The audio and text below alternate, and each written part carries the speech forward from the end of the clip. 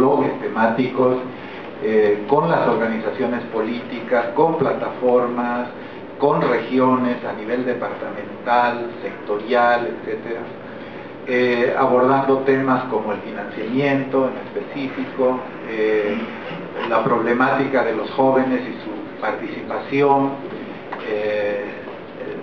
una perspectiva de género desde el ámbito propio de las mujeres,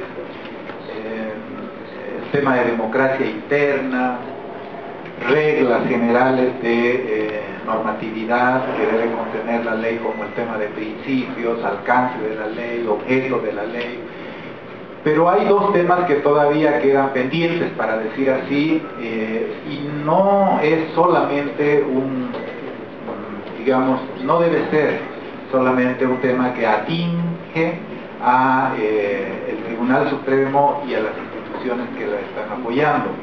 Me refiero al tema de eh, cómo va a rescatar la ley, lo que aquí se ha tratado, la participación de las organizaciones políticas de los pueblos indígenas originarios campesinos, que tiene que ver eh, otra vez, y, como debe ser porque es un tema transversal, eh, con el concepto y el entendimiento que vayamos teniendo sobre la interculturalidad, sobre la democracia intercultural, que son los elementos referentes, son los significantes esenciales, eh, digamos, para la construcción de la nueva ley de organizaciones políticas.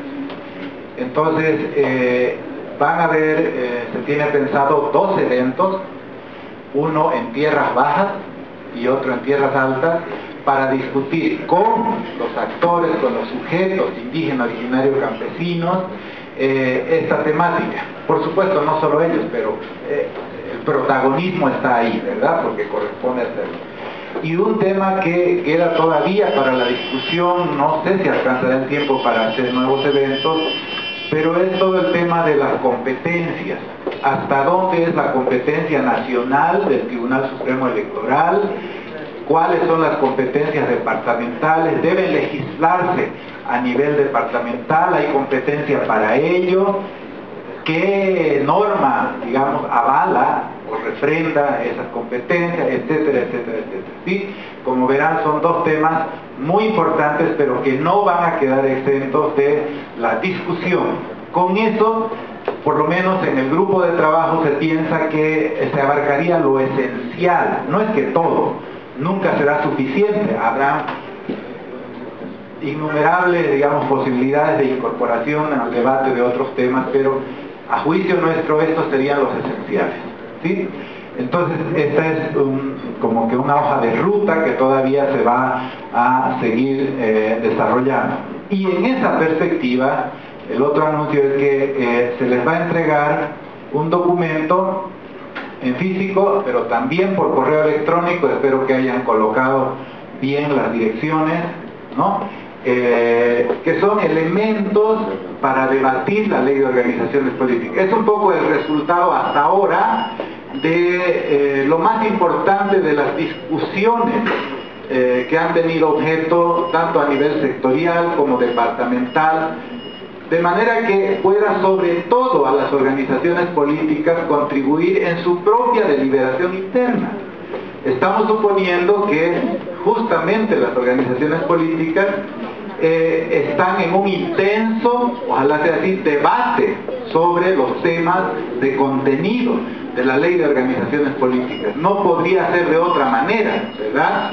Porque no es un tema simplemente que compete al Tribunal Supremo Electoral, en realidad los sujetos esenciales y primarios son las organizaciones políticas reconocidas obviamente en nuestro marco legal, ¿no? Tanto partidos, agrupaciones ciudadanas y organizaciones políticas de pueblos indígenas. Entonces, esto que se les va a entregar no es una propuesta de texto ni, ni, digamos ya los elementos de la futura de proyecto de ley, sino son elementos de la discusión. El documento da cuenta de qué cosas importantes se han discutido, dónde hay acuerdos esenciales. Eso les puede ayudar a ustedes para no reiterar o incidir tanto en los temas que tienen cierto consenso, acuerdo, etcétera, y donde hay disensos importantes, lo cual puede ayudar a que también se haga más énfasis en esa discusión. Entonces, este es el sentido, digamos, del aporte